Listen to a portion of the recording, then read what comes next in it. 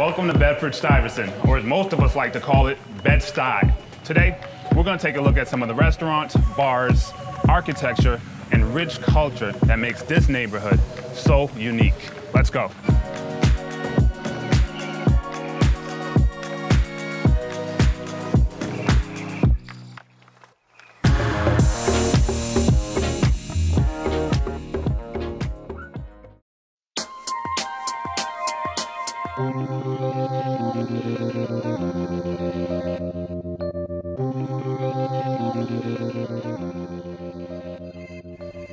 What inspired you to open an art gallery in Bed-Stuy and how have you been received by the neighborhood?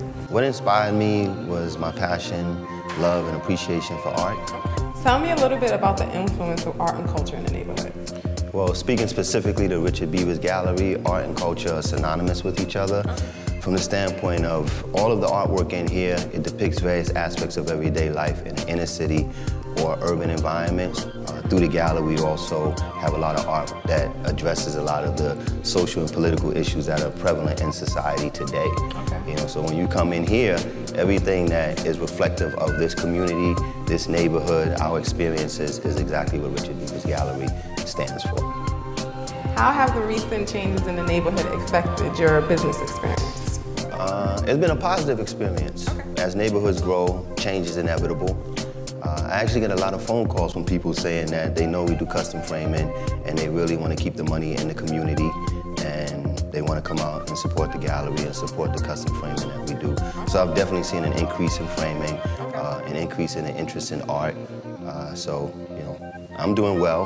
Uh, we're going to continue to grow. And as always, the community has been very supportive of the gallery. I'm vested in this community. You know, it's not just a business for me. It's also about creating jobs, uh, creating opportunity, bringing culture, and uh, making a positive impact and influence in this community that my wife and our family, we have five children, that we also call home. So you just mentioned your wife. So imagine you were taking her out on a Sunday date.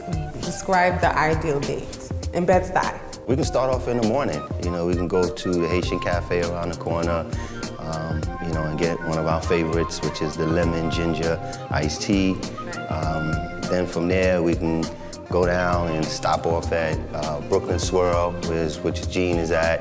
Uh, then we have peaches, we have basil. I mean, it's just so many different options, you know. And then just walking through the community and knowing people by name.